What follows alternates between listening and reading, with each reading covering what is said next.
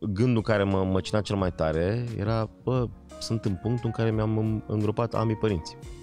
Și asta acolo când mi-am pus asta în minte, mi s-a, mi s-a tăiat uh, suflu. La suferința mea personală de acum un an uh, are loc cu transformarea unei, uh, unui mod de viață într-un alt mod de viață, faptul că am divorțat. Cumva mă refer și la o parte din acest an în care l-am pierdut uh-huh. și pe tata și tot anul ăsta jumătate au fost, am, sau am fost pus în fața unor momente care, cărora trebuie să le fac față și să înțeleg tot ce mai bine din ele și să scot ce mai bun din tot ce se întâmpla uh, și am simțit undeva acolo că toate lucrurile astea vin de fapt să vindece ceva în mine.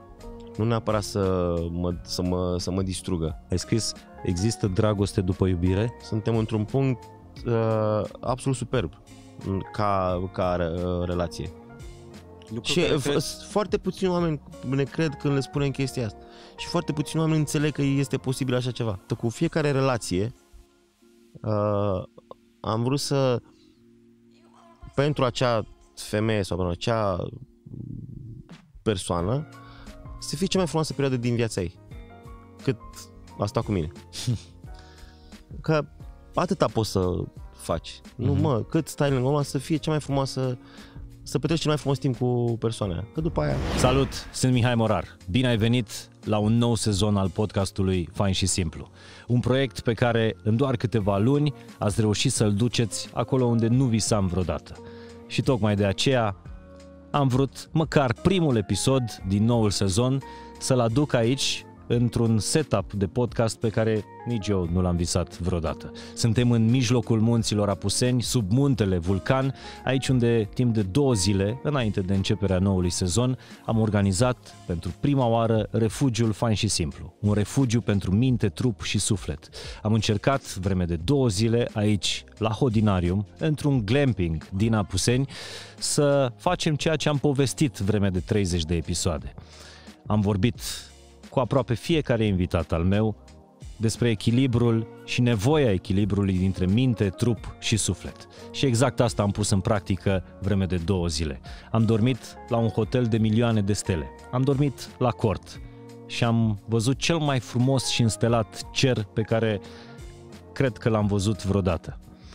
Am uh, făcut sport dimineața, am făcut drumeție prin munții Apuseni, escaladând munții ăștia de, de piatră și văzând una dintre cele mai frumoase priveliști pe care le poți vedea din România.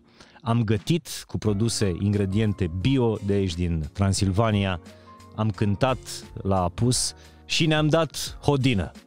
Așa cum numesc ardelenii starea asta de liniște și pace. Ăsta este refugiul fain și simplu. Ăsta este refugiu pentru minte, trup și suflet. Unul dintre proiectele prin care încercăm să ducem fain și simplu din online în offline, acolo unde este viața reală, departe de lumea virtuală.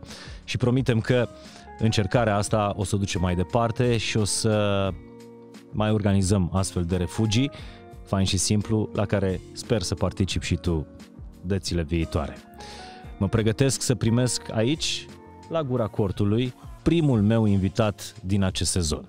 Până atunci vreau să vă anunț că acest episod este realizat în parteneriat cu DeLonghi, numărul 1 mondial în producția de espresoare. Recent, DeLonghi a lansat noul spot de imagine global, al cărui protagonist este însuși Brad Pitt. Perfetto, cred că este cuvântul potrivit pentru a descrie atmosfera acestui clip în care nu doar că joacă un actor laureat Oscar, dar regia este semnată de un alt câștigător Oscar. Regizorul Damien Chazelle a luat Oscarul pentru La La Land, iar muzica e compusă de asemenea de un laureat Oscar. Înainte de a urmări un episod de podcast filmat tot într-un cadru natural perfecto, te invit să vezi cum arată o zi din viața lui Brad Pitt, From Bean to Cup, de la cumpărarea boabei de cafea dimineața, la călătoria lui cu motocicleta pe Pacific Coast Highway și până la momentul cel mai fain al zilei, când ajungi acasă și cu o singură apăsare de buton îți prepari un espresso sau un cappuccino. Acesta este filmul Perfetto de Longhi cu Brad Pitt în rol principal.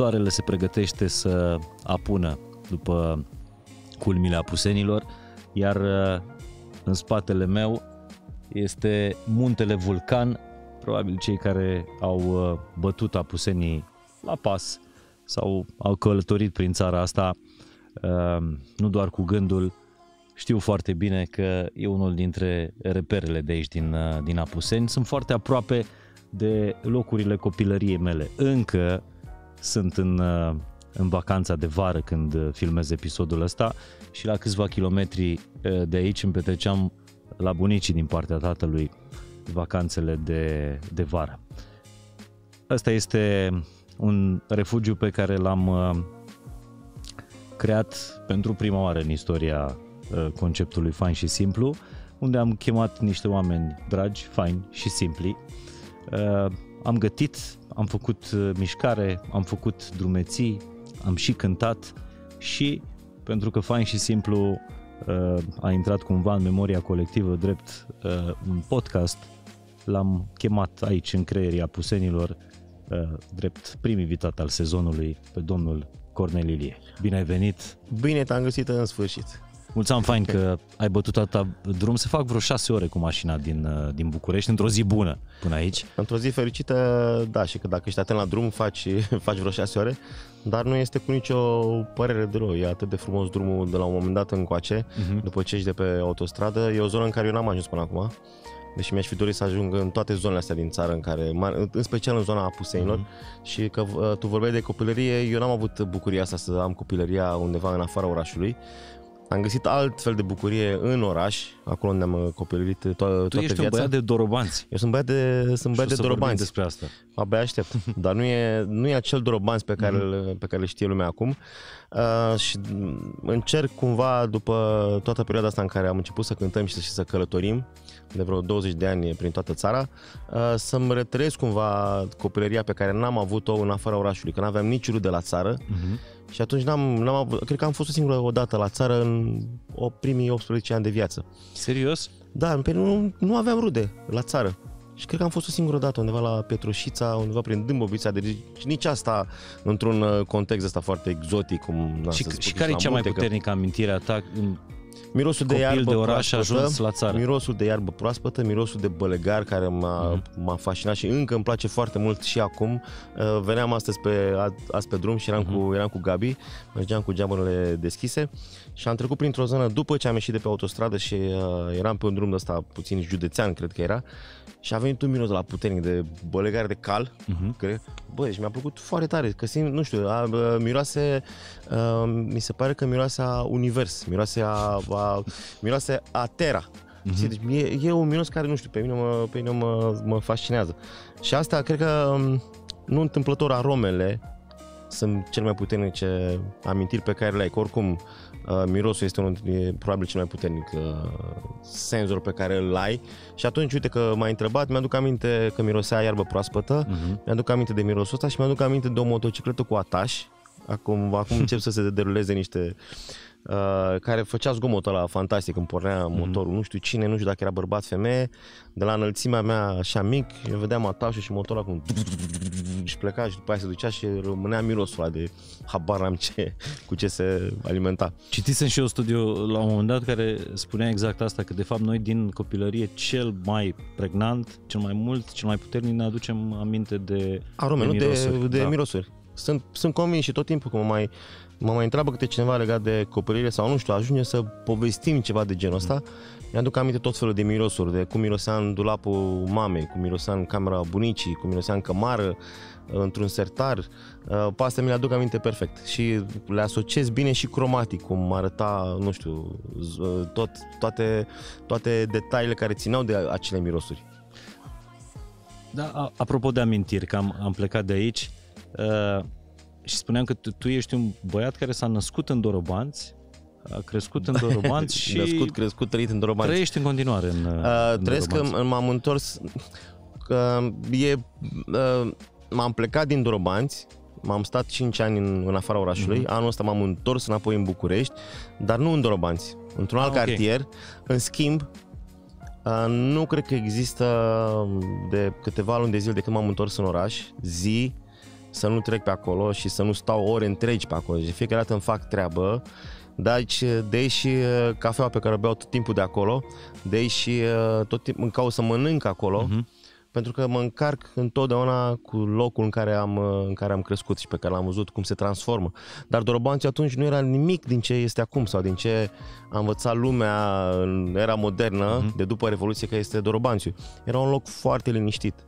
Era un loc extrem de liniștit, nu găseai nicio, uh, nicio terasă. Nu găseai niciun loc în care poți să te aduni. Erau niște magazine, Materna, magazinul tineretului, uh, cum se mai numea, era magazinul de muzică, ceea ce probabil a contat pentru mine în perioada aia. Magazinul de muzică era pe calea Dorobanților sau? Era un magazin de muzică Da? pe calea Drobanților, acum este un magazin de parfumerie.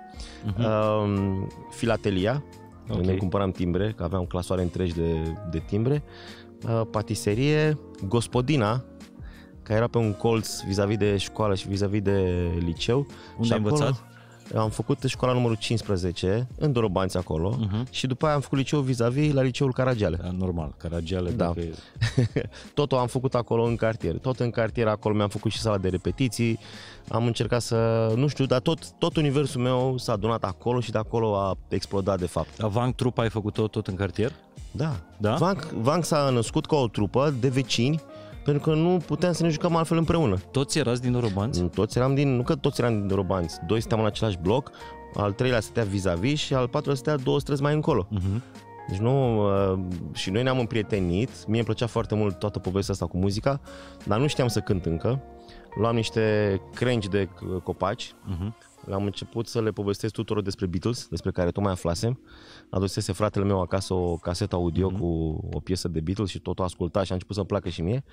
Um, și luam niște creci din copaci și fugeam pe străzi și intram în magazine și făceam o mare gălăgie cântând uh, doar din gură. Și cântam ce înțelegeam eu fonetic din engleza de la Beatles Mhm. Și oamenii se uitau speriați la noi și pentru că era, asta era înainte de 89, era undeva prin 1987, 1988, când era câte un securist la fiecare colț al străzii și noi făceam balamuc. Noi mergeam, cântam în magazine, urcam la etaj și cântam și fugeam prin magazine, uh, ieșeam pe ușa cealaltă și uh, după aia mergeam în spatele blocului și ne așezam în curte la leagăne Și erați Și aceeași cântam. gașcă care mai târziu a făcut trupa asta? care a făcut trupa Vang. La început noi ne numeam Cronos, cu capa și cu 2 de S Mhm. și um, ulterior am aflat că mai există o formație în București, undeva într-un alt cartier, o altă scară de bloc și aici nu se poate așa ceva, trebuie să schimbăm numele, dar uh, s-a născut din uh, patru băieți care locuiam acolo și ăsta era felul nostru să ne jucăm, că nu aveam cu ce să ne jucăm altceva. Cu ce să jucăm? Ok, băteam mingea, jucam șapte pietre, uh, ne fugăream cât puteam, Dar Dorobanțul era un cartier liniștit, nu era locul de socializare de astăzi, Nu, că- nu, care loc- cumva adună, Floreasca Dorobanți adună lume din alte zone ale, ale București. Dorobanțiul era un loc în care era foarte multă liniște pentru că era un loc în care stăteau foarte mulți foști securiști și foarte mulți securiști. Și blocurile care, s- care s-au construit, s-au Mhm. construit acolo, cele noi din acea perioadă, erau pentru foarte mulți angajați ai instituțiilor care lucrau cumva acoperiți și m, pentru Și securitate. tu și, chiar și pe vremea aia făceai parte din cei care stăteau în Dorobanțiu vechi. și noi stăteam în Dorobanțiul și eram printre cei care încercam să fac ușoară anarhie, dar fără să-mi dau seama. Că nu, nu e uh, în sângele meu sau nu știu, în gena mea există o formă de revoltă față de autoritate. Și asta am uh, regăsit-o tot timpul. La școală, la facultate, la, la serviciu și acum în tot ceea ce înseamnă abuz de putere sau cei care încearcă să impună o formă de putere fără să explice de ce. Dar uh, deja asta este cu totul altă... Dar pe cartea ta de vizită acum, la 40 și niște Cinci. ani, mulți înainte, Mulțumesc la fel. nu-i arăți. Uh, Yes. muzica și tenisul. Exact. Uh, ai putea scrie sub Cornel Ilie om liber? Uh, ciu, ciu, ciu, ciu, aș vrea să m, definește liber. Uh, sunt un om care gândește liber, nu acționez liber tot timpul. Nu am cum să fac asta, nu cred că poate să facă nimeni asta. Nu știu cine își permite luxul să acționeze tot timpul liber, dar gândirea și uh, sufletul îmi sunt foarte libere și așa mi-a fost mereu. Mici momente în care m-am împiedicat, dar mi-am revenit repede. Mi-am dat seama că nu eram, uh, nu eram bine eu cu mine. dar uh, mi-aș dori să pot să acționez mai liber decât o fac acum. În schimb, uh, sunt, uh, e un amestec foarte interesant de... Aș putea să mă ridic în fața mulțimii și să îndemn o mulțime la răscoală, dar în același timp n-aș putea să pun pe cineva în situația de a simți desco- uh, disconfort, de a-l pune într-o situație jenantă, de a-i spune ceva care să-l doară.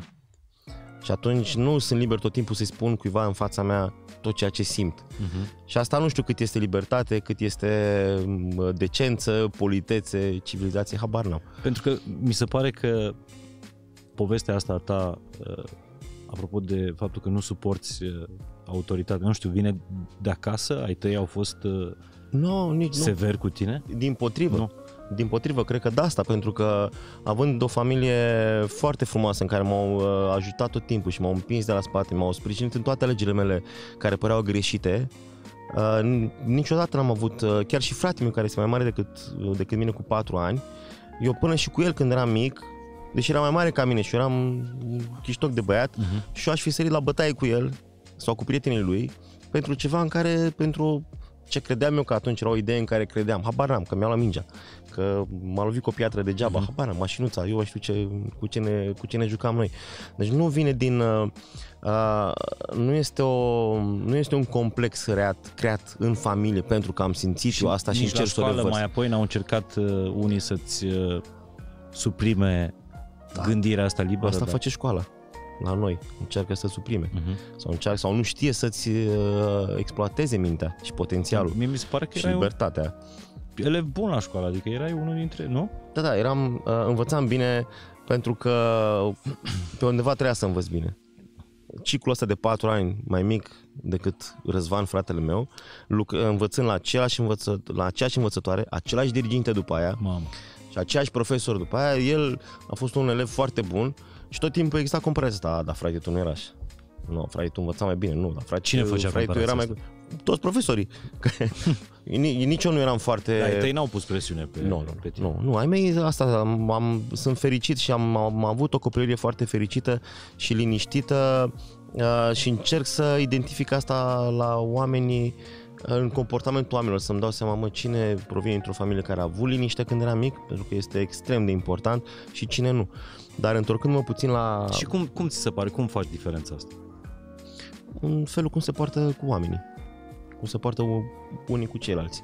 Câteodată pot să-mi dau seama, pot să citesc că am, uh, am o intuiție destul de bună și m-a ajutat foarte des. Și în a, cuno- și în a cunoaște oamenii și în a ce vor oamenii de la alți oameni și de la mine. Și m-a ajutat tot timpul să îmi trag un semnal de alarmă. Pe de altă parte, nici eu n-am lăsat instinctul ăsta și intuiția să vorbească singuri și le-am ascultat mereu.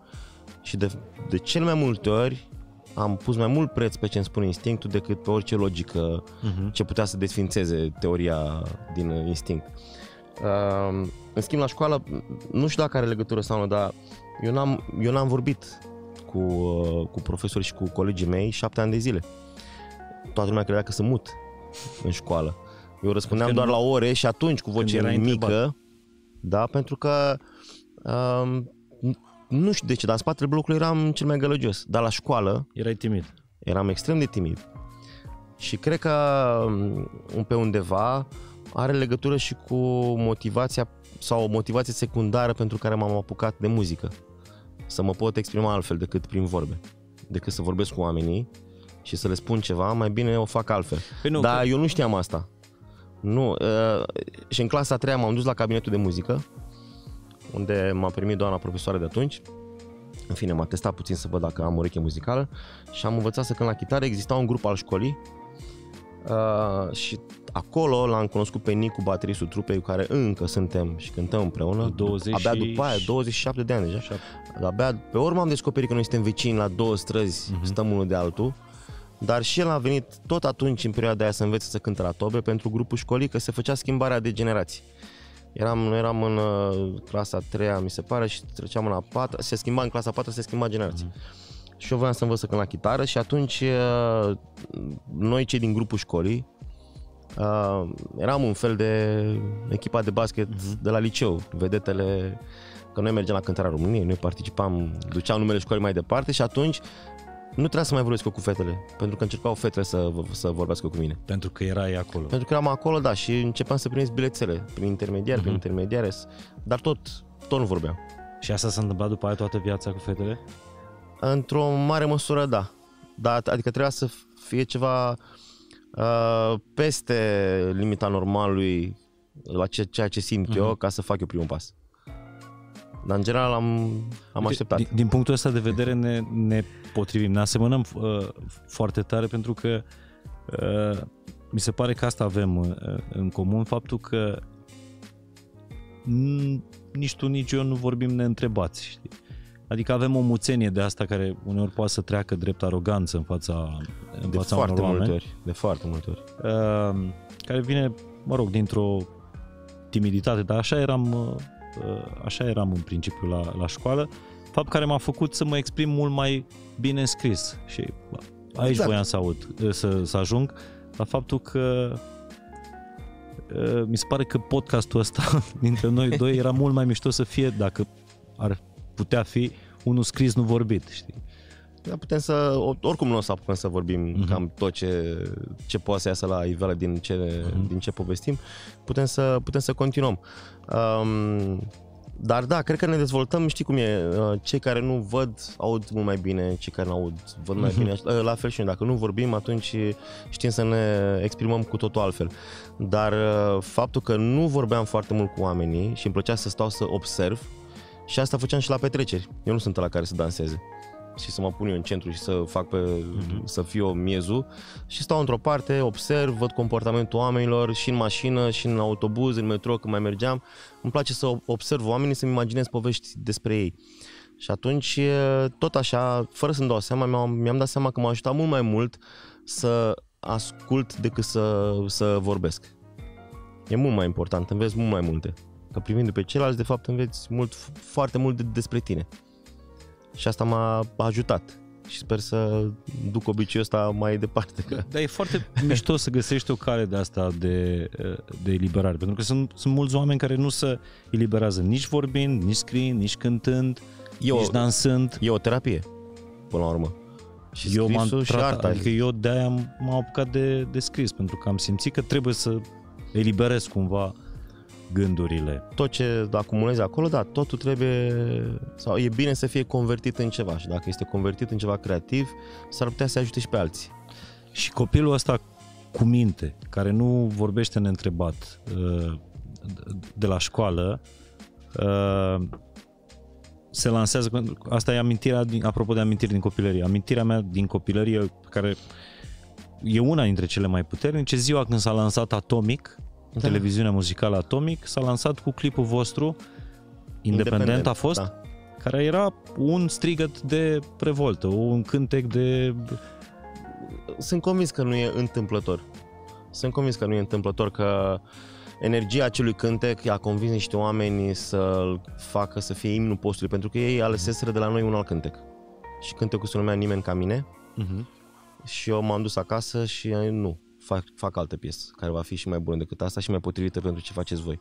Și m-am dus acasă, noi uh, în blocul din Robanți, la subsolul blocului, într-un bunker. Independent. Acolo am compus primul album și chiar și al doilea, dar primul l-am și compus și înregistrat acolo, ca toate albumele noastre din perioada Vanc cu A. Au fost înregistrate într-un bunker de bloc, pe deasupra noastră treceau mașini, uh, înconjurați de conductele de canalizare cu toate pisicile care se adunau acolo și făceau toate nevoile și mirosea cu mirosea, ței sparte și luam cu găleata, uh-huh. aruncam apa și învățasem să nu mai punem amplificatoarele pe jos ca să nu le ia apa și să toate pe găleți, pe uh-huh. navete și uh, am înregistrat, am scris cântecul ăla și le-a plăcut mult mai mult și probabil că asta, uh, energia pe care o transmite chiar titlul dar și printre rânduri, cred că i-a convins să fie, da, asta e și mai potrivită. Dar, pe de altă parte, nu cred că e întâmplător că, uite, apropo, apropo de amintiri din, din copilărie și de, de foarte mult, am o amintire foarte clară de la prima mea serbare. Prima mea serbare de la grădiniță, nu de la școală. Uh-huh. Și uh, unde, la fel, nu vorbeam și trebuia să repetăm spectacolul de grădiniță, unde aveam și eu de spus niște versuri Uh, venea rândul meu să spun versuri, ne îmbrăcaseră în ie și în ițari și în toate cele țărănești pentru uh-huh. copii. Și uh, părinții mei erau foarte speriați că eu să mă complexez când o să ies în fața scenei și o să tac și lumea o să râde de mine, că eu nu o să vorbesc și o să, na, cum fac copiii. Și erau foarte speriați și uh, mi-aduc aminte și mi-au confirmat și mult după aia că am ieșit pe scenă, am zâmbit, mi-am văzut acolo, m-am zâmbit și n-am avut nicio problemă. Am Ai spus, fost impecabil. am spus textul ăla fără nicio problemă, am simțit foarte în largul meu, după care m-am întors la vechiul meu comportament în care nu vorbesc cu nimeni și nu bat pe nimeni în seamă. Și asta încă, încă se întâmplă.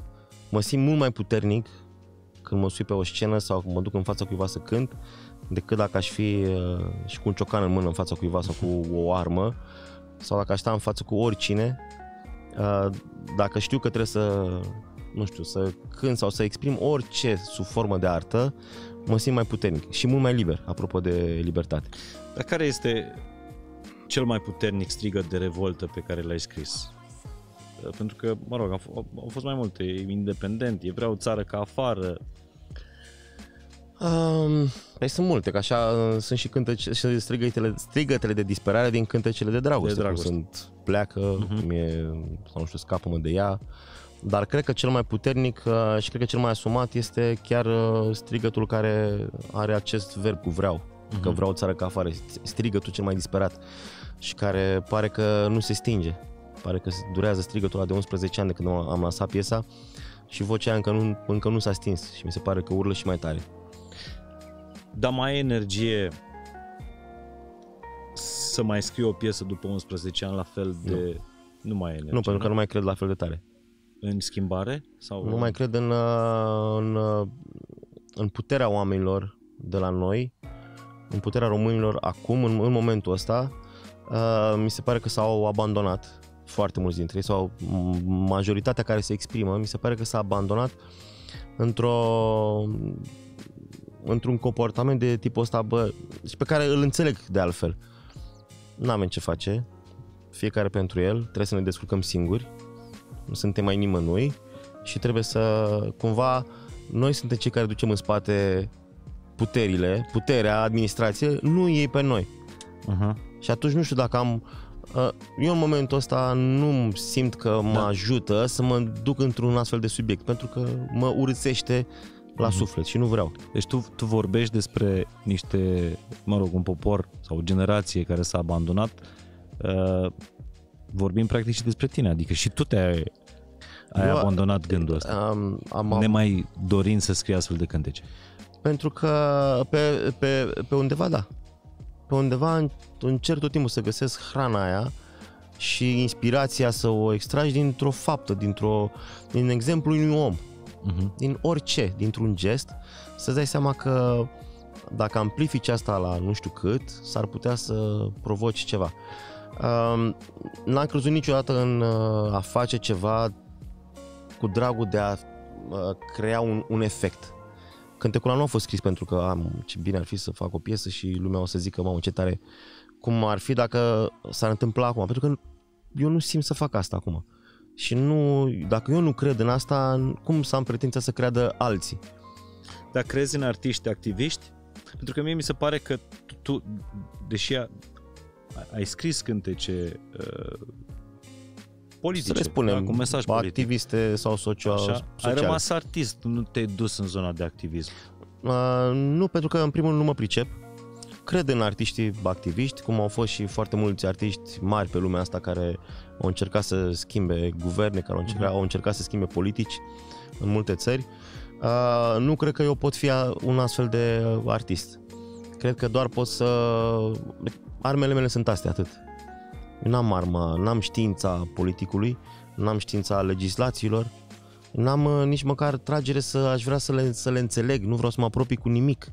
Eu vorbesc, nu vorbesc despre um, mecanismul politic, Uh-huh. eu vorbesc despre efectele care, pe care le are asupra oamenilor și asupra unității unor oameni și a empatiei oamenilor și a credinței oamenilor în locul ăsta. Acum, știi că, uh, mă rog, cred că toată lumea se gândește, uh, îți dau exemplul lui uh, Tudor Chirilă, care dincolo de mesajele din cântece se implică foarte mult și în uh, activismul ăsta de, de, de care vor- vorbeam. Tu n-ai depășit granița asta.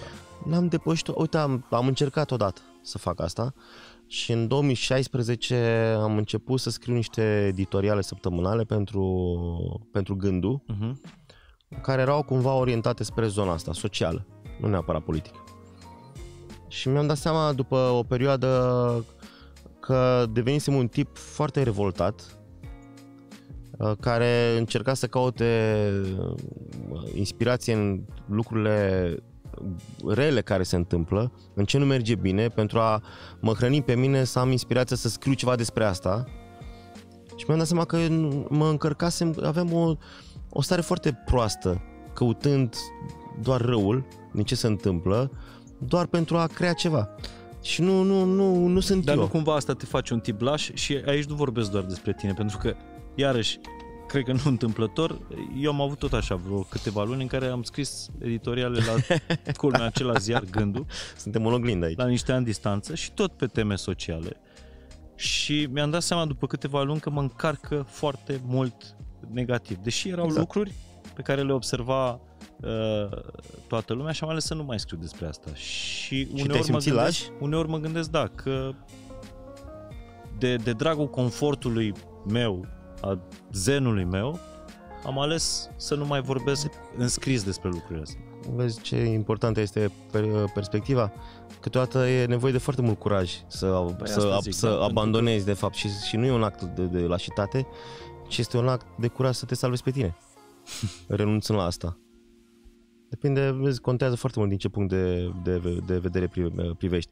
Nu cred că este un act de lașitate atâta timp cât rolul meu nu este ăsta. Era o alegere să fac asta, dar nu era rolul meu. Nu pentru asta uh, mă apucasem eu să fac muzică. Ci pur și simplu, la un moment dat în viața mea, am simțit nevoia să vorbesc despre asta. Nu cred că am schimbat vreo ziua cuiva prin ce scriam eu acolo.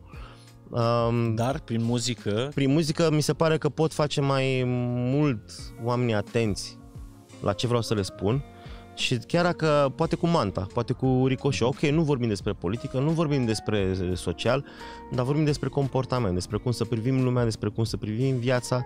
Și astfel ajungi cum să vezi oamenii, cum să înțelegi oamenii.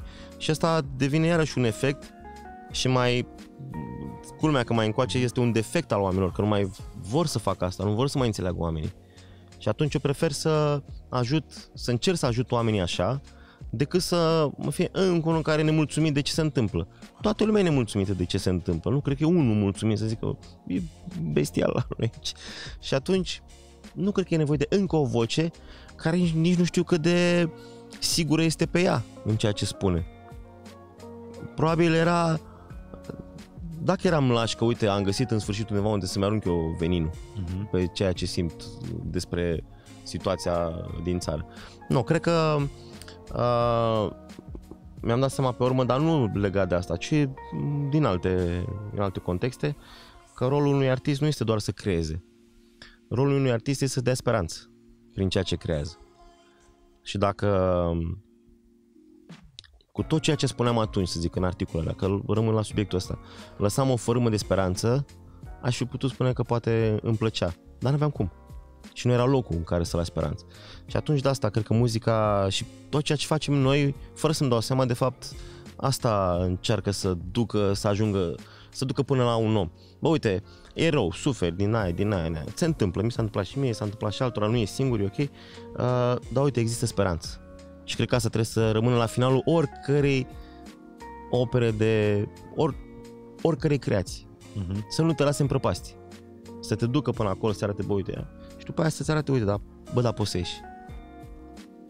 Deci, cu alte cuvinte, prin mesajele tale sociale, politice, n-ai reușit să uh, schimbi o țară, dar cu siguranță prin muzică reușești să schimbi măcar viața unui, unui om. Că ascultam un podcast zilele trecute, mai știu cine zicea, foarte mișto, zice, dacă prin munca mea salvez un om, e ca și cum a salva o lume. Exact, sunt complet de acord și mai este o, uh, cred că mai este o altă dimensiune. Uh, în momentul ăsta, țara asta nu cred că este în stare să salveze un om. Dar cred că suntem în stare ca un om să salveze țara asta. Deci uh, prefer să mă, am șansa aia de la Cala Loto, unul la nu știu câte milioane, în care se poate ajung la omul ăla care mm-hmm. poate să facă ceva mai departe, nu acum, peste câțiva ani poate, decât să încerc să salvez o țară care nu, nu e stare și care nu dă doi bani pe noi. Și acum mă, când spun țară mă refer la cei care au steagul în mână și nu fac nimic cu el. Plecasem în discuția asta, sper că n-am divagat foarte mult. Uh, plecasem de la faptul că tu erai un tip care în, din copilărie nu suporta autoritatea, uh, ai început să scrii foarte mult uh, foarte multe mesaje de, de revoltă prin cântecele tale și asta este foarte mișto că de la tipul ăla care, care s, s, uh, trimite mesaje de revoluție în cântece, uh, același tip reușise să, să scrie niște cântece de dragoste absolut uh, sfâșietoare și sensibile și Uh, și pare că nu poate să vină din aceeași, nu, din același om. Da, eu sunt convins că ba, poate să vină din același om. Da. Intensitatea da. și pasiunea sunt clar cu care... două caractere, două personalități aici, nu? Minimum, cred că sunt aș vreo două, dar uh, au ceva în comun, pasiunea. Pasiunea și pentru una și pentru alta și pentru, uh, și pentru a nu război, pentru a nu începe un război și pentru dragoste. Și e, mi se pare foarte adevărat că uh, cuvintele poate să înceapă sau să pornească războaie, cum la fel poate să înceapă sau să, să sfârșească povești uh-huh. de dragoste. Uh, nu cred că este întâmplător, pentru că, adică pentru mine nu e deloc întâmplător. Eu în mine, știindu-mă cum abordez, cum văd lucrurile, cum uh, eu aș pune pasiune în, adică în momentul în care îmi găsesc ceva în care cred, mă duc până la capăt, mă duc până la limita uh, supraviețuirii. În care crezi sau în în care, în care cred, simți. În care, în care cred și care, mă, da, vorba vine în care cred, uh-huh. pentru care simt, uh-huh. pentru care nu mai este foame, nu mai este somn, nu pot să mai adorm. Uh, Când pentru... ai avut starea asta ultima? De nesomn, nefoame? Uh, cred că anul trecut. Cred că acum un an. Și am avut, dar l-am uh, destul de des pentru că pun foarte multă pasiune uh, și în iarăși și în poveștile de dragoste, dar chiar și în prietenii, în oameni. Eu cred, eu, eu cred foarte tare în oameni. Și dacă cineva, uh, mult spus mă dezamăgește, dar mă amărăște cumva, nu dorm bine noaptea aia, că mă, că mă macină, mă. Sau dacă, ba, mai mult, dacă am făcut eu ceva fără să vreau uh-huh. și am supărat pe cineva, nu mai dorm. Pentru că mă mă roade foarte mult, cred foarte mult și țin foarte mult la oameni și mai ales la cei care sunt în jurul meu. Um, și pe undeva cred că și toată pofta asta de revoltă nu vine pentru cel care, nu știu, niște oameni care stau nu știu ce sat din nu știu ce județ, pe care nu-i cunosc, ci cred că undeva acolo este pentru apropiații mei, să știu că vor fi bine și că o vor duce bine. Că prin extensie, cu toți ar putea să o ducă bine, Asta e minunat. Dar cred că undeva acolo este o declarație de dragoste pentru apropiații mei și o dovadă de egoism că vreau doar pentru ei. Nu știu să spun asta, mm-hmm. nu m-am gândit, nu vreau să descifrez, o las acolo așa și cândva o să vină și la care mine a fost ideea. momentul ăla? Adică în ce s-a tradus momentul ăla de nesom, nefoame, în care ai Întotdeauna se traduce în uh, ceva scris, fie că este muzică, fie că este text. Nu, fie dar că este... vorbeai despre anul trecut. Că... Anul trecut s-a tradus în uh, niște cântece pe care le-am uh, lansat ulterior. Uh, s-a tradus în uh, Vinodute, ultimul anunț, uh, de azi încep să te uit, uh-huh. cânte pe care le-am lansat de curând. Uh, în multe alte, uh, alte cântece pe care încă nu le-am înregistrat. Deci crezi că a fost în... un an bun? Din punctul, ăsta, din punctul ăsta de vedere, da pentru mine 2020 a fost un an uh, foarte bun prin ceea ce mi s-a întâmplat, pentru că am învățat extrem de multe despre mine. Dacă îmi spun ce s-a întâmplat, este că s-au întâmplat foarte multe într-un timp restrâns. Și dacă personal știi să privești, sau... și personal și profesional, că na, am fost afectați cu toții și a fost un context în care uh, n-aveai cum să nu fi afectat și uh, dar toată chestiunea asta uh, suferința este vitală pentru un artist. Și de fapt orice formă de suferință ascunde extrem de mult frumos. Dacă știi să... Știi cum e acadeaua Mhm. și are un ambalaj pe care nu știi să-l desfaci din prima niciodată. Te chinui mult, ori dai cuțitul, ori, ori ai răbdare. Acum nu știu că La vrei... fel e și cu asta. Mhm. Dacă ai, e o suferință acolo, dacă știi cum să-i scoți ambalajul ăla și învelișul, Mhm. poți să descoperi foarte mult frumos acolo. Și dacă iarăși știi ce să faci cu ăla, este aur.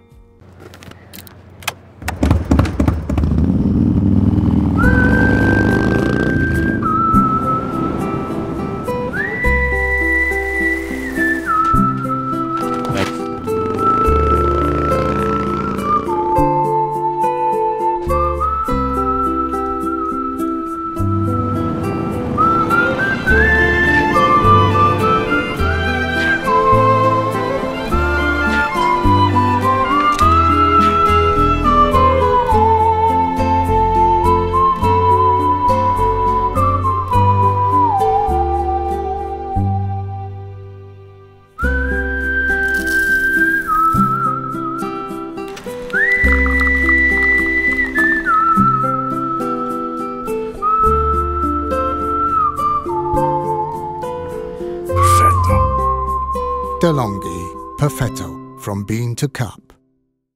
Îmi intră soarele în ochi. Uh, Vreau, vreau să te anunț că mai avem câteva zeci de minute și o să prindem apusul ăsta. De-aia am și vrut să facem podcastul ăsta spre, uh, spre asfințitul ăsta. Vă readuc aminte că suntem în, uh, în Apuseni, sub muntele uh, Vulcan, de o stare foarte bună. Mă rog, uh, de fapt cred că reîntoarcerea în locurile copilăriei uh, te, te Îți dau o repune liniște, nu? Îți creează... pe, o- pe o stare uh, foarte, foarte bună. Dar acum vre- vreau să ne întoarcem la 2020. Acum nu știu cât vrei tu să vorbești despre suferința personală. La suferința mea personală de acum un an uh, are loc cu transformarea unei, uh, unui mod de viață într-un alt mod de viață. Faptul că am uh, divorțat în uh, octombrie acum un an uh, are legătură, adică mm, au fost niște transformări decisive în viața mea. Și acum uh, tot anul, adică eu ce, când spun ultima perioadă și ultimul an, cumva mă refer și la o parte din acest an în care l-am pierdut Mhm. și pe tata și uh, tot anul ăsta jumătate au fost, am, sau am fost pus în fața unor momente care, cărora trebuie să le fac față și să înțeleg tot ce mai bine din ele și să scot ce mai bun din tot ce se întâmpla Uh, și am simțit undeva acolo că toate lucrurile astea vin de fapt să vindece ceva în mine. Nu neapărat să mă, să mă, să mă distrugă. Și ca dovadă că noi acum cu toții, uh, tot ceea ce înseamnă uh, Eliza, Zara, Cezar, în primul rând că noi suntem acum cei mai importanți, orice ar fi, tot timpul se va întâmpla asta, suntem, uh, suntem foarte bine și ne înțelegem extraordinar. Pentru că am înțeles de fapt că uh, toată povestea asta nu stătea doar în, a, în conceptul ăsta de a rămâne căsătoriți Mhm. și de a arăta, nu știu, poate și de a arăta oamenilor că bă, nu sunt probleme în, în, în familie sau în cupluri. Sunt probleme și sunt convins că sunt la toți. Și pe undeva uh, faptul că am ales să declarăm divorțul nostru așa cum am făcut-o, cu foarte multă prietenie, era și pentru a da iarăși din nou speranță și altora că, mă, dacă nu mai puteți să continuați împreună sau orice, oricare ar fi motivele, ce, se poate face și așa. Adică mai, pentru că de la televizor și din presă și de oriunde te uitai, toate exemplele sunt negative. Toți se ceartă, toți se jură, toți își, deodată și aduc aminte că sunt niște nemernici, niște nenorociți, că niciodată eu nu... Și vreau să arătăm, bă, da, uite, noi suntem așa și cred că ar putea să fie și alți oameni așa și să le dăm curaj. Știi, e, e puțin bizar că eu nu vreau să încurajez oamenii să se despartă, dar sunt foarte mulți oameni care își doresc asta și nu o fac de teamă și de o, ce spune lumea, de confort, pentru Ție că de ce sunt ți-a deja fost cel într-o... mai teamă? Uh, ca, să, ca, să nu, ca să fac pasul ăsta sau ce? Ca să faci pasul ăsta, da. Uh, eu tot timpul pun în primul plan uh, copiii. Deci acolo este, acolo este limita, acolo am cântărit cel mai mult, pentru că acolo, de fapt, contează foarte mult efectele. Și am încercat și în continuare, tot ceea ce facem este să protejăm copiii. Și uh, cred, că, cred că ne este foarte bine. Adică dintr-o situație care nu este perfectă, cred că scoatem cel mai bun posibil din această Dar ce e perfect în situație. lumea Exact. Și um, nu știu, am plecat de la, de la, de la suferință. Uh, a fost o transformare foarte puternică și care mi-a pus în față o oglindă și a mea și a, nu știu, și a momentului în care eram de fapt. Ții minte uh, dimineața în care am citit postarea ta, anunțul uh, despărțirii uh, și țin minte, nu prea rețin citate, dar țin minte, nu știu dacă ăsta a fost finalul sau nu, ai scris, există dragoste după iubire? Exact. Da. Există dragoste de oameni după iubirea care poate nu mai există între ei.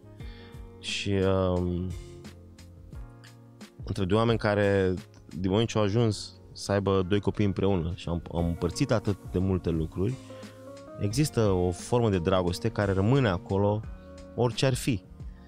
Uh, Adică dacă ești puțin atent și uh, iubești oamenii și iubești viața și te iubești pe tine și te respecti pe tine în primul rând, că de aici și Mhm. pleacă. Nu poți să-l respecti pe altul dacă tu nu te respecti, nu te respecti pe tine. Dar tu ai scris lucrul ăsta ca, ca pe o dorință pe care tu ți-o pusese atunci la Nu, ca pe despărțire? un, uh, Există ca- dragoste după iubire? Nu, uh, ca un uh, ca Sau o ca o promisiune. certitudine, ca o, ca, o, ca o siguranță dată altora, de fapt. Băi, Uh-huh. există asta după. Se poate, uite, poate să rămână, după iubire poate să rămână dragoste. Ceea ce da, e Și acum la un an după, Uh, ce, există, dacă, dacă mai este Da. da. valabil, culmea că este aproape un an de când am uh, făcut acea postare. Cam așa, da, uite, nu m-am gândit la cam asta. așa dar- un an.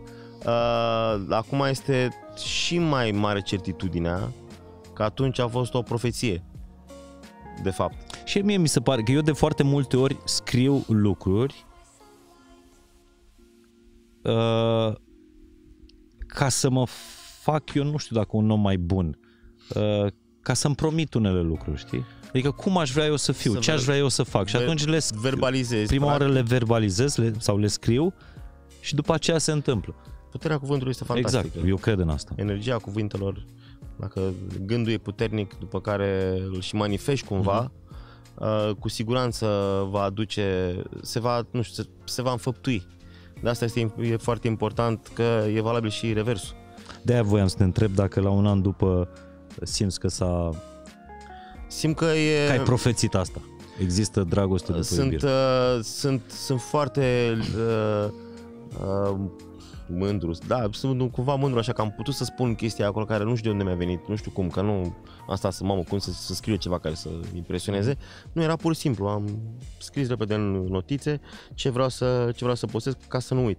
Și uh, acum, da, privind în urmă, de fapt nu am făcut niciodată chestia asta în ultimul an, cu atât mai mult suntem într-un punct uh, absolut superb în- ca, ca uh, relație.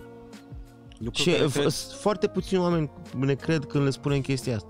Și foarte puțini oameni înțeleg că este posibil așa ceva. Și e, pe de o parte, interesant. Că îmi place când uh, uh, oamenii își pun întrebări. Sau să faci lucruri, uh, să-i faci pe oameni să-și pună întrebări.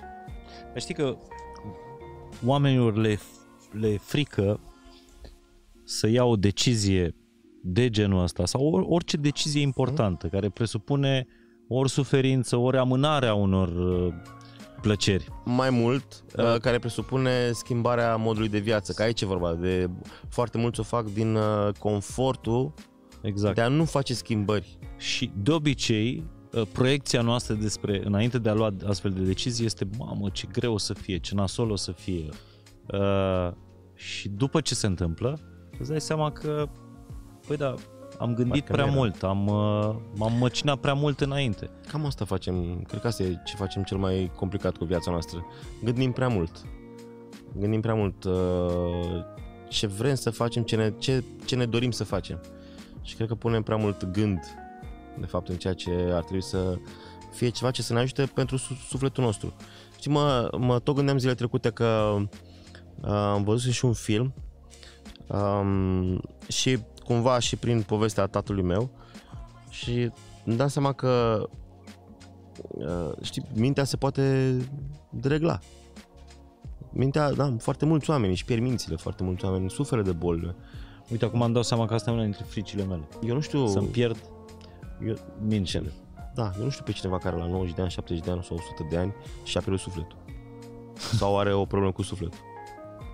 Deci, cred că totuși să nu uităm că ac- aia e sursa cea mai importantă a noastră. Ceva ce nu vedem și nu se vede la radiografie, nu se vede la nicio Mhm. analiză. Nu cumva este atât de important încât nu poate să vadă oricine? Sau nu poți să îl accesezi decât tu, tu însuți?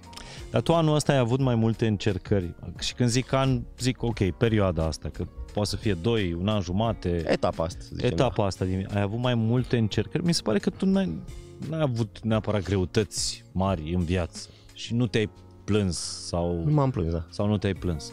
Ți se pare că anul ăsta a fost mult prea încărcat? Toată perioada asta a fost uh, maximum de, de până acum pentru mine. Au fost toate, și, dar nu cred că au fost întâmplător în același timp. Nu cred că întâmplător în perioada asta. Uh, dar până la urmă cred că toate vin, vin cu lecții pe care trebuie să le și cum ai ieșit? intuiești Care, care și e să lecția le... pe care ai extras-o acum? Când încă deja când încă e cald, pardon. Nu știu că e greu să uh, înțelegi o lecție atunci când îți pierzi părintele. Adică de aici nu prea e ce să... Decât poți să înțelegi că, ok, în mod sigur, uh, o lecție pe care am învățat-o cu toți, să-i apreciezi mult mai mult cât sunt în viață. Și să petreci maxim de timp pe care îl ai, vorbind, ascultându-i sau stând, stând, stând lângă ei. Uh, știu că gândul care mă măcina cel mai tare era, bă, sunt în punctul în care mi-am îngropat ambii părinți. Și asta acolo când mi-am pus asta în minte, mi s-a, mi s-a tăiat uh, suflu. Că, bă, sunt în punctul ăsta al vieții în care mi s-a întâmplat chestia asta. Și în care am conștientizat, în un moment dat, și copiii mei vor, vor trăi același lucru.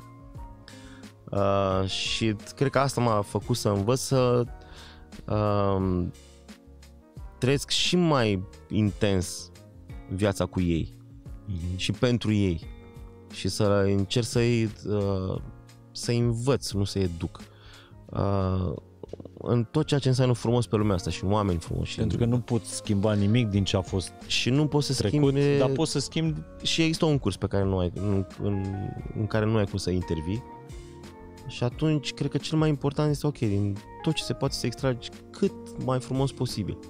Și să te porți cât mai frumos cu oamenii, să fii tu în amintirea oamenilor uh, un om cât, cât mai bun. Și mi-am, iarăși, fără să, fără să conștientizez, mi-am dat seama că de fiecare dată, cu fiecare relație, uh, am vrut să, pentru acea femeie sau pentru acea persoană, să fie cea mai frumoasă perioadă din viața ei. Cât a stat cu mine. Că atâta poți să faci. Nu, Mhm. mă, cât stai lângă omul să fie cea mai frumoasă, să petreci cel mai frumos timp cu persoana aia. Că după aia nu știi încotro. Dar bănuiesc că t- toată energia asta pe care uh, ți-a consumat-o, așa cum ai spus mai devreme, cea mai încărcată sau încercată uh, perioadă din, din viața ta, toată energia asta trebuia să uh, să o recuperezi de undeva. Cum te-ai ținut uh, sau cum te ține echilibru? Păi, uh, din fericire, vorbind zilnic cu, cu copiii, Uh, asta este cea mai puternică sursă de... cea mai, cea mai puternică alimentare posibilă, cea mai bună hrană. Asta odată, am avut noroc ca toată perioada asta, să, perioada aceea, să stau la curte, eram încă în perioada în care stăteam la curte și puteam să mă plimb cu picioarele goale prin iarbă, să stau, să... Uh, pur și simplu luam un copac în brațe, la modul real. Mhm. Și stăteam și stăteam cu un copac în brațe și mă gândeam și mă încărcam și de la toată, tot pământul la care mi intra în tălpi uh, și toată di- discuția mea cu mine și cu universul. Noaptea cu stelele, ziua cu norii. Și stăteam și pur și simplu, era și că perioada în care nu trebuia să fii pe drumuri, că a, a coincis cu perioada asta în care să stai foarte mult acasă, să nu te întâlnești cu mulți oameni, de fapt mi-a dat timp și ocazia să vorbesc foarte mult cu mine Mhm. Și cu cele nevăzute.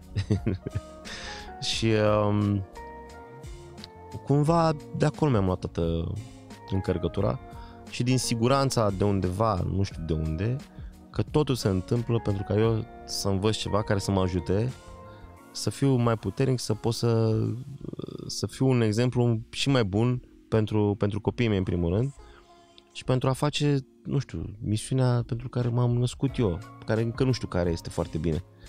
Dar știu că sunt pe drumul corect. Da, Că sensul, sunt, sunt, pe drumul, sunt pe drumul bun. sensul știi?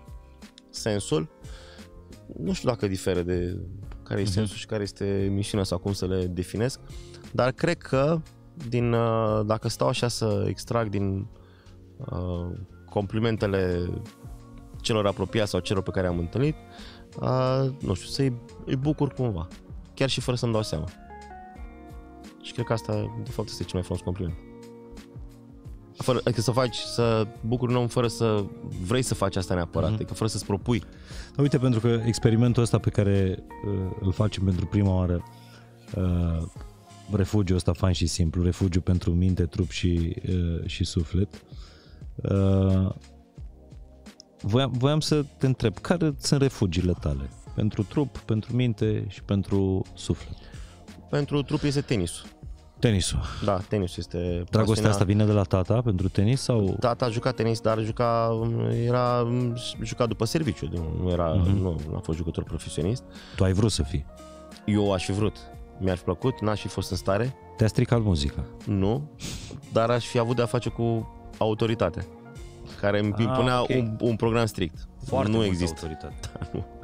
Nu se putea așa ceva, pentru că de asta am și plecat dintr-un singur cantonament pe care am avut cu tenisul în clasa 8 Am fost la un club, m-am înscris la clubul la care era tata acolo și adică un- pe terenurile căruia uh, se, era clubul ăsta și unde juca și tata și am fost în cantonament o săptămână și am zis că eu nu mă las, nu mai, nu, nu, nu mai trebuie. Am fost la Sinaia și dacă n-am alergat și n-am făcut la trepte, am urcat scările alea de ne-a venit rău și eram mici și uh, am zis, nu, mie nu trebuie așa ceva, eu nu vreau. Deci n-aș fi putut să fac, dar mi-aș fi dorit foarte mult. Uh, deci pentru trup cu siguranță este tenisul și concertele, unde dacă o faci cum trebuie și cu pasiune, este o, e o performanță sportivă, un, uh, un uh, spectacol. Dar cred că e și calculat, dai peste 1000 de calorii jos Da. într-un concert. Da, și eu mă, eu mă manifest, nu, sunt, nu rămân acolo într-un loc, mă manifest, consum foarte mult.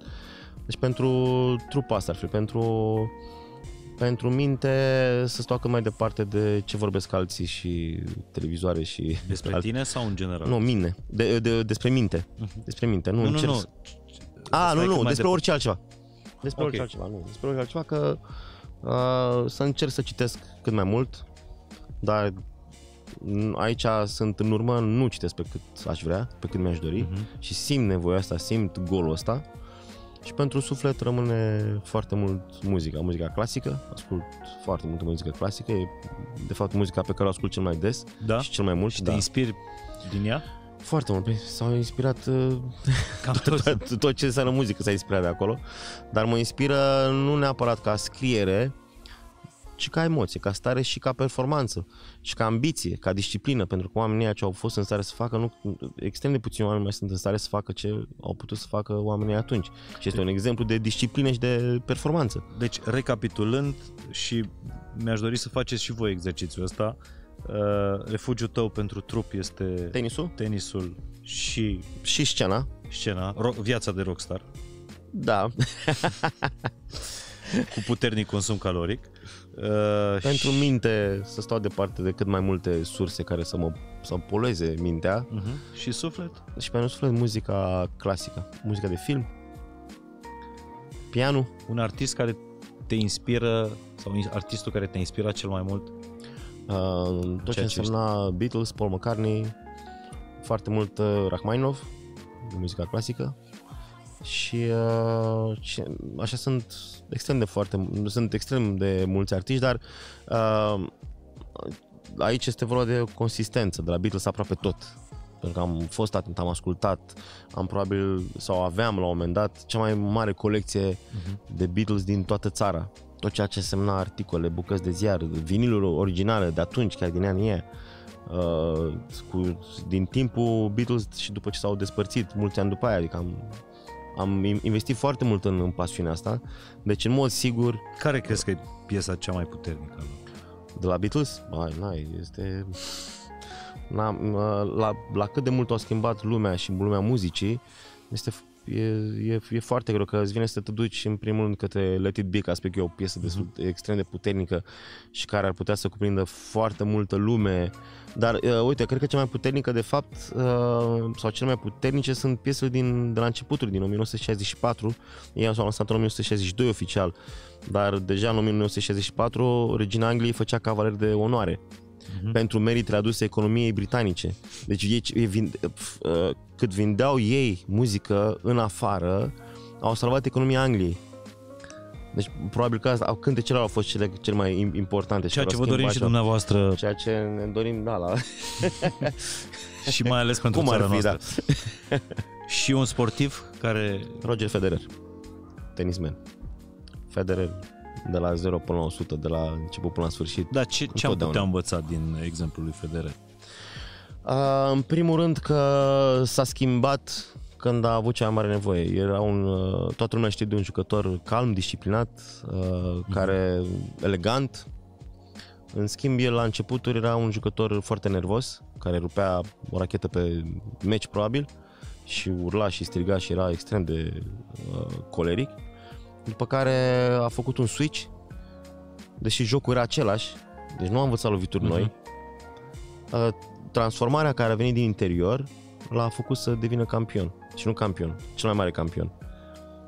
Și uh, m-am bucurat că prima săptămână de, număr, de number one, când a fost vreodată number one, în prima săptămână a venit în România. A jucat în România, cu, a, da. a jucat cu echipa Davis a României, cu Andrei Pavel și cu Vitor Hănescu. Și mie mi se pare imens uh, Federer. Acum, sigur că uh, mulți fac comparația Djokovic da, n-ai cum să nu faci comparații. Imens. Și țin minte că Djokovic, Djokovic fiind un tip, uh, iarăși, foarte aplecat înspre uh, spiritualitate, dar foarte coleric. Și întrebat, Extrem, da. Uh, uh, întrebat într-un interviu a zis că trebuie să vă înțelegeți, noi venim din, uh, din Balcani, noi, noi așa trăim, adică la intensitate maximă. Da, e ceva acolo. Cred că se încă își domnește foarte mult pornirile. Demonii. Și, și tot așa, ca Federer, Djokovic primul meci de jucător profesionist a fost în București.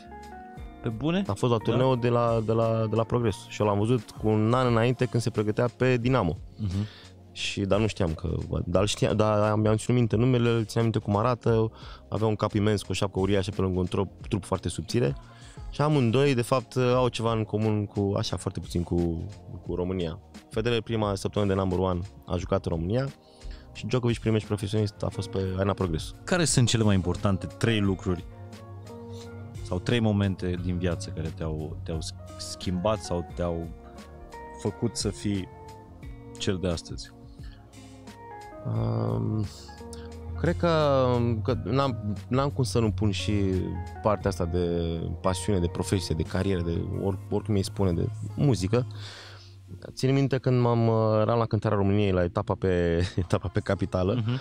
și am cântat, uh, era Cinema Floreasca și uh, pe scena Cinemaului Floreasca se ținea concursul și m-am suit pe scena acolo, era sala plină de părinți și de profesori și cu corul școlii în spate și la...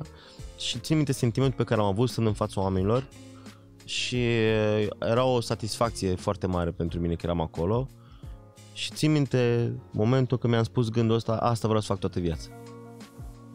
În gând? Da, mi-am spus, am, m-am privit și mi-am spus, eu, eu asta vreau să fac toată viața. Cum copiii spun când sunt mici, vreau să mă fac astronaut, nu știu ce. Mi-am zis, asta vreau să fac toată viața și am urmărit să fac asta toată viața. Și de asta, aici, cred că uh, cred că sunt mai de succes decât foarte mulți oameni bogați. Pentru că uh, întreabă câți oameni uh, fac acum ce, ce își doreau când, când, când erau mici. Și asta e cel mai mare succes al meu și pot să-mi bat cu asta în piept cu, Mi se pare a, foarte cu milioanele de... Amintirea asta ta și momentul ăsta tău și cred că fiecare dintre noi avem momente de astea flash-uri de astea și nici nu ne dăm seama de unde a venit uh, Mi-a rămas, inspirația în știu momentul și ăla. cum eram îmbrăcat, știu și dacă mă pun acum pe scenă, nu mai e scena acolo, dacă aș, aș ști și unde eram, unde, unde eram pus. Și dacă mă chinui puțin, pentru că am chestia asta, țin minte zilele în care se întâmplă lucruri și unde eram într-un anumit loc, țin dacă era joi, dacă era marți, dacă era dimineață, ce oră era, pot să-mi aduc aminte și dacă era joi sau vineri. Uh, Memorie de asta de scriitor. Da, țin minte de... foarte mult. uh, Detalii. Fac, fac asocieri foarte multe. Foarte multe. Așa, te, alt- te-am întrerupt din momentele da. care A, și te-au... m, în mod sigur când s-a născut Zara, primul, co- primul copil, Ce ții minte de atunci? Ca miros, ca imagine, detalii? a, țin minte când mi-a pus-o în brațe, exact când a născut, a, și mi-a pus-o în brațe și eram, până atunci eram foarte, eram speriat că nu știam ce o să, Mhm. cum o să fie, cum să fac eu toată chestia asta. Și liniștea pe care mi-a dat-o și uh, când am ținut-o câteva secunde în brațe, am avut o liniște e- extraordinară. Deși nu știam nimic despre ce aveam acolo în brațe, erau câteva grame care cântreau tone pentru mine, tone, deci tone de, de importanță. Acolo, dar Țineai și tot mi se părea universul dacă o, ceva atât de mic, atât de ușor, care nici nu poate să nu știe să spună nimic, de fapt știa, uh, știa să-mi transmită absolut tot. Și știu, eu știam exact ce trebuie să fac. Și uh, asta cu siguranță m-a a schimbat foarte mult pe mine. Uh, și în- cred că în fiecare părinte, în momentul în care se naște, îi se naște un copil, uh, se întâmplă niște declicuri acolo Mhm. și se activează un, up, un upgrade la soft. Deodată începi să gândești și să simți altfel. Um, și nu știu să spun altele, că sunt, uh, sunt, sunt, sunt multe așa. Aș vrea să spun și când s-a născut Cezar al, al doilea copil, dar uh, nu vreau să le pun pe uh, etape separate sau pe poziții separate, dar hai să spun că pe momentul ăsta acuzarea este valabil și pentru Cezar. Uh-huh. Că nu, n-am cum să pun lui, dar că deja Ca să- at- atunci știam ce se întâmplă, Uh-huh. dar e important, a- cel puțin la al doilea copil la Cezar, am stat la naștere, am stat în sală. Uh-huh. Am, am vrut și la primul, dar nu m-au lăsat. Um, și al treilea, nu știu să... Aș vrea să pot să spun, aș vrea să spun uh, să spun ceva foarte simplu, de fapt. Ceva fain, foarte simplu, nimic complicat, nici căsătorie, nici divorț, nici uh, moartea cuiva, nici uh, vreo chestiune asta atât de gravă. Uh, cred că este tot uh, o... Uh, știi, cred că ce mă schimbă tot timpul? Fapt, bucuria copilului când vine și sare în brațe. Și care are bucuria și la... Cât și, încă mai sar în brațe. și da, și dacă nu te vede 5 minute și dacă nu te vede 3 zile, el are, are, are aceeași bucurie. Și când vine așa în fugă, uh, doborând toate obstacolele invizibile ca să ajungă la tine și vezi cum se împleticește în picioare și mâini și sar codițele sau sar gecile în aer și fugi în așa fel încât nu contează nimic decât Brațele. destinația, da, e, asta n-are cum să nu te schimbe. Și chit că schimbă ziua sau schimbă starea, schimbă absolut orice. Și asta e ceva ce, na, unii încă poate nu au ajuns să înțeleagă și unii poate au uitat cum să înțeleagă asta. Dar este o, e un moment care, care în, în continuare face minuni. În fix un minut cred că o să fie am pus-o? pus oficial. Da, uite în spate că se duce. Uite ce frumos. Se duce și ziua de astăzi. Da, nu anunță decât o altă zi. Și aș vrea la apus să... Mi-am, mi-am salvat un citat, ți-am zis că nu țin minte citate. O, tu scrii, mai scris Corneli. Așa da, se numesc. am făcut o pauză pentru că toate Se întâmplă ceva cu tine sau Nu, putem să n-am- te ajutăm cu ceva? Da. dacă se poate. nu, am, am, am luat o pauză pentru că, nu știu, e, Nici eu nu simt sunt, eu să nu, simt să tac în perioada nici asta. eu nu sunt într-un moment în care să scriu. Uh, Dar ai scris într-o scorneală de-a ta, oricât de frumos ni se pare un om, nu ne îndrăgostim de frumusețea lui, ci de energia lui. Când energia aia se transformă în altceva, începem să o căutăm în alți oameni. Și o vom găsi pentru că energia circulă. Nu rămâne decât dacă nu este hrănită. Deci nu de îmbătrânire și de pierderea frumuseții trebuie să ne facem griji, ci de pierderea propriei lumini. Tare. da, sunt foarte Asta ai convins de scris tu, asta. ca da, să- da, știu, știu, știu. E tot acum un an. Îți, pe 9 octombrie, cred că este. Mamă, Am spus că știu vineri, 9 octombrie. cred că a fost. Ori vine, vine sau A sâmbătă. fost un context în care ai scris? Nu știu, Da? da? țin, țin, uh, țin minte. Și, uh, dar sunt foarte convins și am văzut la oameni asta și am văzut între oameni cum se întâmplă lucrul ăsta. Și am, am văzut la mine. Și ai să vezi, e, știi exemplul ăla când te uiți la niște oameni și spui, bă, da, uite, pare mai îmbătrânit. Sau uh, par mai în Da, vârstă decât, da.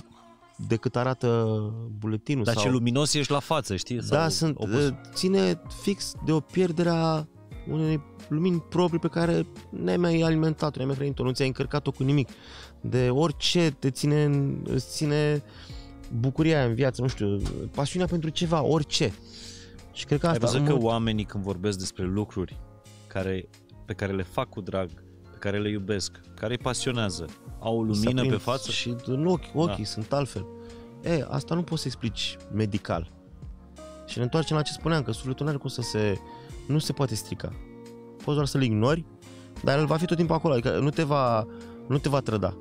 Doar tu poți să-l trădezi. Dar el va fi acolo tot timpul intact. Și l accesezi sau nu. Și la 90 de ani poți să aprinzi lumina aia în ochi și să, Mhm. uh, să-ți aduci aminte de ceva. E, cu mintea nu poți să faci chestia asta. Și cu toate astea, cei mai mulți dintre noi luăm decizii în funcție mai întâi de minte și ne ignorăm sufletul. Și mie mi-e ciudă de chestia asta. E foarte mișto să avem povestea asta despre a nu ne pierde propria lumină exact când uh, ziua Da, își pune. pierde lumina, doar temporar, pentru că mâine o va avea din, uh, din nou. Pleacă de noi, dar o aprinde în altă parte. Răsăritul o să-l vedem în partea asta la altă. Mâine dimineață facem, uh, facem sport, dar nu te deranjăm. Dacă... Aveți o rachetă de tenis și o minge, jucăm. Dacă nu, Și-au dus fetele mele și-au dus paletele de badminton. Așa că poți oricând să, să dai un badminton cu ele. Cornel, îți mulțumesc tare, tare mult. eu îți mulțumesc foarte mult. M-a bucurat, nu știu că s-a văzut pe fața mea Lumina. lumina, da, din, din toată discuția, dar chiar m-am bucurat. Îți mulțumesc tare mult, mai ales că noi ne știm, ne frecventăm. Eu te apreciez și cred că e și uh, reciproc. Cu siguranță. Dar noi fiind doi muți, uh, nu prea vorbim când ne... Adevărul e că noi mai Întâlnim. mult avem prin mesaj, așa e. Exact. Deci Corect. întâlnirile au fost destul de dese. Uh, Da. Nu prea, adică tăcem da, dar foarte vezi, mult. Comunicare să fie. Dar, Bă, a fost bun podcastul ăsta și cred că e cel mai frumos studio de podcast pe care l-am avut până, până în momentul ăsta. Uh, Dacă ar veni invitați în fiecare săptămână aici, Ștefan, nu ți-ar plăcea să-l mutăm aici? Ăsta este refugiul nostru, primul nostru refugiu pentru minte, trup și suflet. Promitem să-l mai facem, promitem să mai chemăm oameni, uh, să schimbăm locul uh, geografic. Dacă știți locuri în care am putea să instituim uh, să mergem să facem refugiul ăsta fain și simplu, scrieți-ne uh, în comentariu, în comentarii. Uh, iar din discuția asta pe care am avut-o cu, cu Cornel Ilie, spuneți-ne primele trei lucruri care uh, vă trec prin minte acum, din tot ce am vorbit în, nu știu, a fost o oră, o oră și, și un pic de, de poveste. Ție ce-ți rămâne în minte din, din ce ai scris tu? Că uite, mi, eu mi-am salvat asta din scrierile tale, deși ai niște scrieri extraordinare, citiți-l pe Cornel, foarte citiți mult. hashtagul Scorneli, căutați hashtagul Uh, cel mai mult uh, mi-a plăcut, uh, scriam pentru un blog la un moment dat și uh, am scris un text despre venea ziua mea de naștere uh-huh. și este un text despre ce îmi spune, vezi, eu, eu mă întorc la aceeași temă, ce spune sufletului celui care se va naște a doua zi. Sufletul meu vorbește cu mine că mâine, tu, tu mâine te naști, Uh-huh. mâine apari. Uite ce o să te aștepte. Și ce vrea lumea asta de la tine și ce trebuie să și ce și ce poți să faci tu în lumea asta. Și este o discuție, e, e, e ca o pregătire a corpului care Aha. se va naște. Și sufletul care vorbește cu o Cum se numește bucată de articolul carne. ăsta? Mai există pe Uh, net? cred În că mai arhiva? există, dar cel mai simplu l-am, uh, l-am introdus în cartea pe care am scris-o, Deja Vu, auto, autobiografia Ah, ok. noastră. Și este unul dintre, unul, încep, unul dintre începuturile de capitol din acea carte, Mhm. pentru că are legătură foarte mult cu cronologia Și cartea Bă, se poate povestea. comanda de undeva? uh, Curtea Veche.